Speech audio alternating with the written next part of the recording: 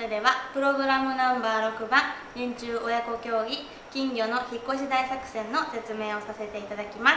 はいとまずはお子さんはこの赤いハッピそしてお家の方はこの青いハッピそしてポイがバトンになっております。こちらのポイのバトンを一緒に持っていただいて4番線からスタートになります。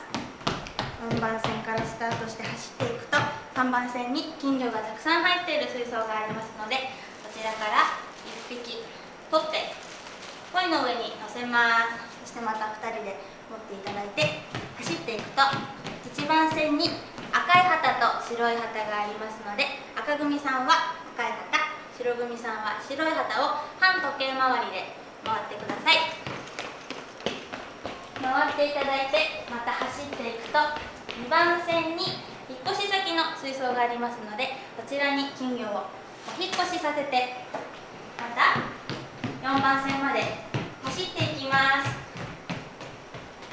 4番線まで。走っていきましたらハッピとポイを次の方に。お渡ししてゴールになります。赤い旗と白い旗の間に水槽がありますので赤組さんは右側白組さんは左側を通ってください。日はよろしくお願いします。よろしくお願いします。